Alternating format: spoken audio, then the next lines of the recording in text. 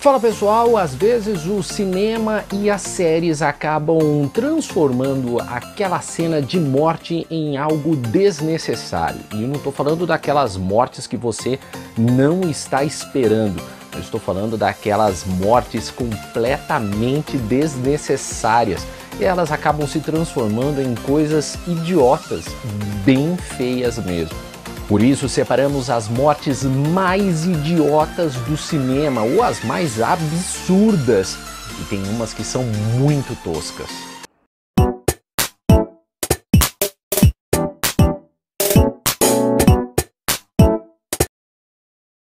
O cinema trash é acostumado a trazer mortes exageradas, mortes que não têm até muito sentido.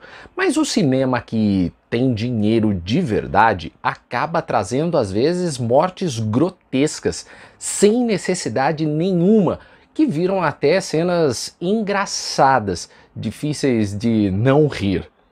No filme cult Os Aventureiros do Bairro Proibido, o diretor John Carpenter mostra que, aparentemente, é possível a pessoa explodir depois de ficar muito enfurecida.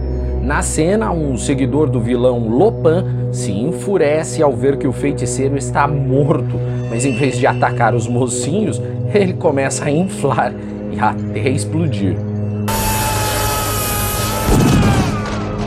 O mesmo aconteceu em Com 007 Viva e Deixe Morrer.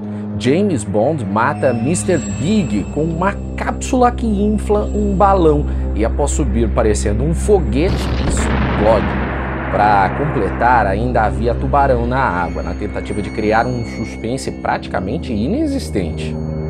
No tosco do fundo do mar, o personagem de Samuel L. Jackson é devorado do nada por um super tubarão que foi criado a partir de experiências científicas. A cena é tão rápida que a explicação do personagem simplesmente passa despercebida.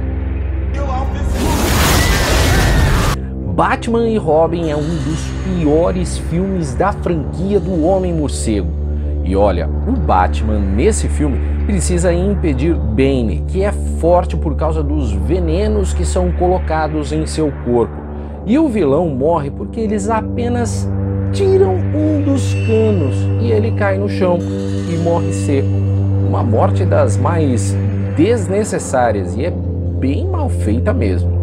Se o cinema de verdade exagera em algumas mortes, os chamados filmes B, que são aqueles que são próximos do trash, acabam exagerando de propósito nas cenas de morte. A gente separou três deles e olha, eu tenho certeza que você vai gostar dessas cenas. Em Natal Sangrento 2, Retorno Macabro, mostra um homem que, enlouquecido, decide simplesmente sair andando e atirando nas pessoas, entre uma risada diabólica e outra. É muito ruim.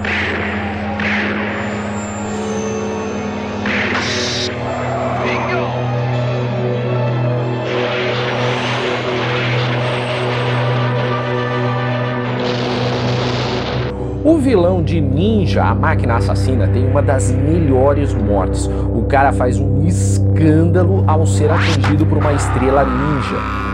E demora três horas para morrer. É impressionante.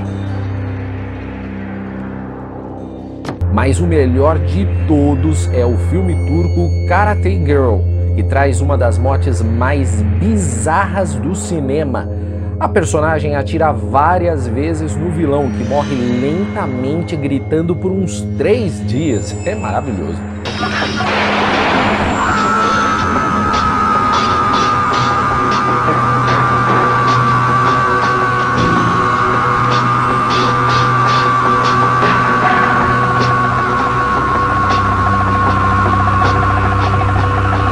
E aí, gostou da lista? Conhece mais alguma morte tosca? Deixe nos comentários. Abraços, tchau!